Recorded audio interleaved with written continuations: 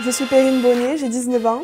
Euh, je suis en deuxième année de TUT Tech Deco. J'ai fait un bac STMG, euh, donc c'est sciences technologiques du management et de la gestion. Et euh, je suis au bureau des étudiants de l'IUT de Castres. donc ça consiste à organiser les soirées étudiantes et animer la vie étudiante sur le campus.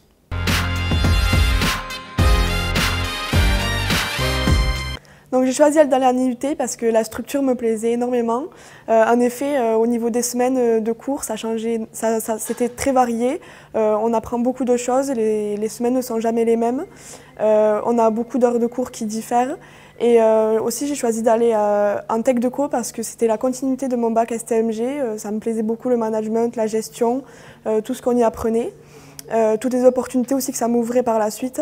Et j'ai choisi d'aller à Castres parce que au niveau au niveau de la grandeur de la ville, c'était plus restreint que Toulouse ou des autres antennes. Euh, ça me plaisait euh, aussi euh, d'être dans, un dans, une petite structure où je pouvais connaître tout le monde, toutes les personnes qui m'entouraient.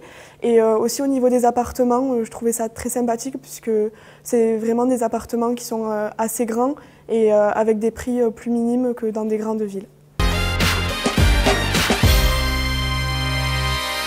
Après mon DUT, j'ai prévu euh, d'aller euh, dans un MBA international à Vatel, à Bordeaux. C'est d'abord, je vais rentrer en, année de préparation pour rattraper donc tout ce qui a été fait avant, et ensuite je continuerai vers un master donc 2 pour avoir un MBA international et pour ensuite pouvoir continuer dans un métier de de management hôtelier.